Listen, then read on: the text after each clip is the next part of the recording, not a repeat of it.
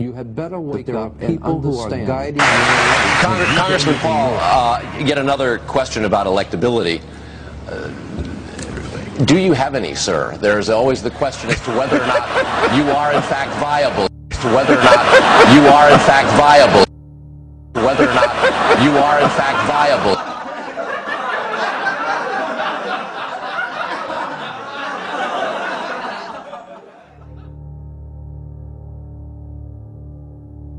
The, with the rest of the Republicans on this stage has raised questions about whether or not you can actually win the general the Republican nomination, sir. Well, we've only had two little primaries so far, so it's pretty premature to decide which one is going to be the candidate. But you know, when, when you think about it, if you measured everything I've ever said, every vote I've ever taken against the Constitution, you know, I'm a strict constitutionalist. Are you suggesting the Republicans should write me off because I'm a strict constitutionalist? I'm the most conservative member here. I have voted, you know, against more spending and wasting government than anybody else. So you're suggesting that I'm not electable and the Republicans don't want me because I'm a strict fiscal conservative? Because I believe in civil liberties? Why should we not be, be defending civil liberties? And why should we not be talking about foreign policy that used to be the part of the Republican Party? Mr. Republican Robert Taft didn't even want us to be in NATO. And you're saying now that we have to continue to borrow money from China to finance this empire that we can't afford? I, let me see if I get this right. We, we need to borrow $10 billion from China, and then we give it to Musharraf, who's a military dictator who overthrew an elected government, and then we go to war, we lose all these lives promoting democracy in Iraq. I mean, what's going on here?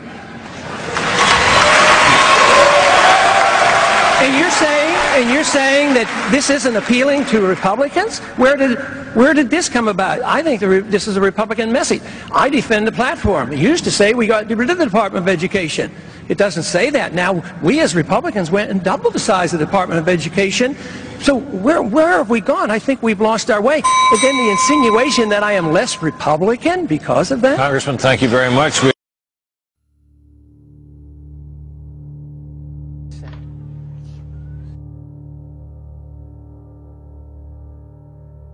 make a comment? I, am not interested in trading with Al Qaeda. All they want to trade is burkas. I don't want to travel with them. They like one-way tickets.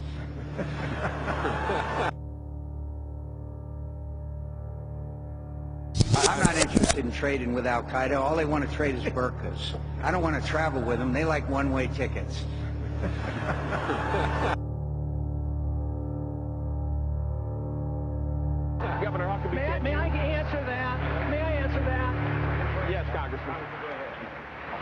I'm talking exactly about that because that's what we have been doing. We used to support Saddam Hussein and we used to be allied with Osama bin Laden.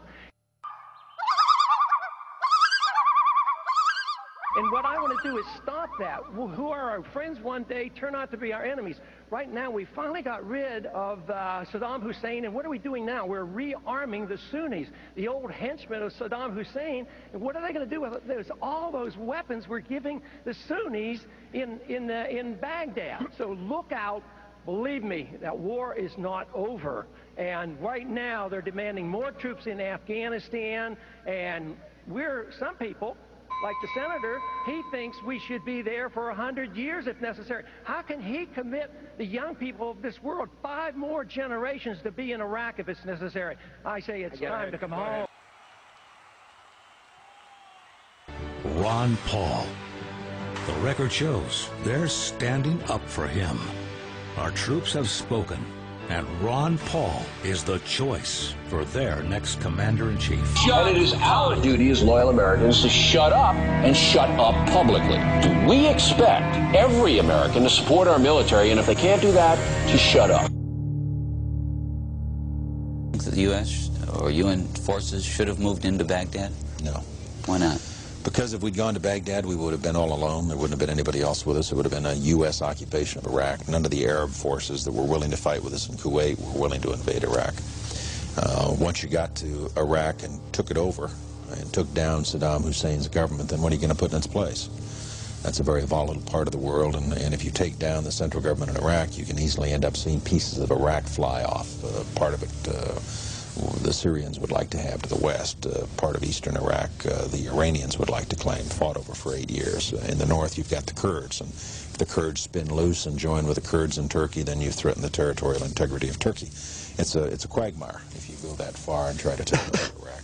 The other thing was casualties. Uh, everyone was impressed with the fact that uh, we were able to do our job with as few casualties as we had. But for the 146 Americans killed in action and for their families, it wasn't a cheap war. And the question for the president, in terms of whether or not we went on to Baghdad and took additional casualties in an effort to get Saddam Hussein, was how many additional dead Americans is Saddam worth? And our judgment was uh, not very many, and I think we got it right.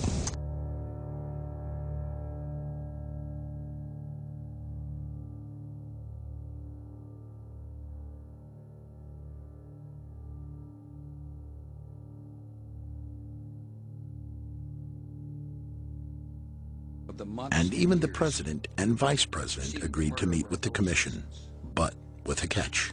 They insisted on meeting together behind closed doors and not under oath. President, why are you and the vice president insisting on appearing together before the 9-11 Commission? Because the 9-11 Commission wants to ask us questions. That's why we're meeting, and I look forward to meeting with them and answering their questions. Uh, why you're appearing together rather than separately, which was their request? Because it's a good chance for both of us to answer questions that the 9-11 Commission is uh, looking forward to asking us, and I'm looking forward to answering them. Let's see.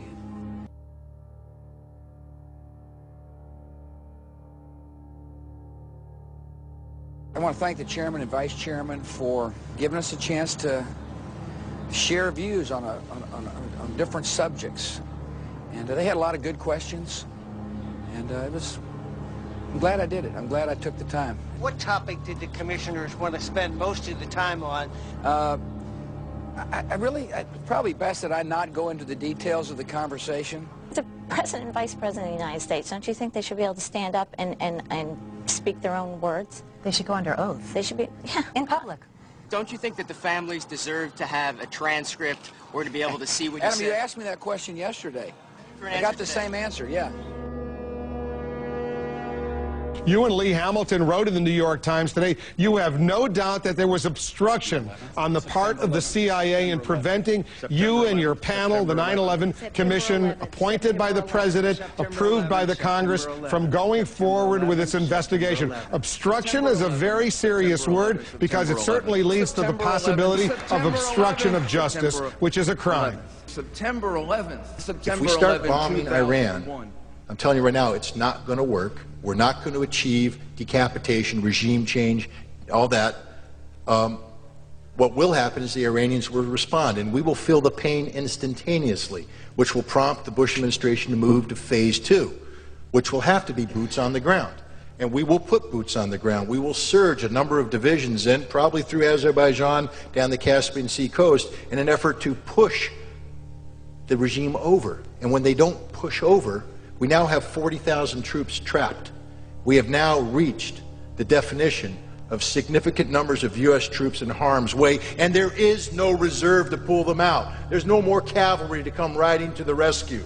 And at that point in time, my concern is that we will use nuclear weapons to break the backbone of Iranian resistance, and it may not work. But what it will do is this it will unleash the nuclear genie. And so, for all those Americans out there tonight who say, you know what, taking on Iran's a good thing, I just told you if we take on Iran, we're going to use nuclear weapons. And if we use nuclear weapons, the genie ain't going back in the bottle until an American city is taken out by an Islamic weapon in retaliation. So tell me, you want to go to war with Iran?